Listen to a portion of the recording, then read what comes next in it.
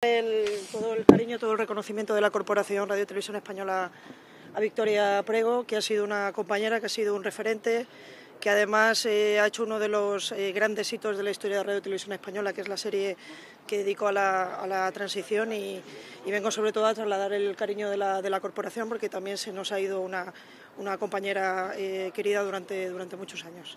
Así que nada, muchas gracias. gracias.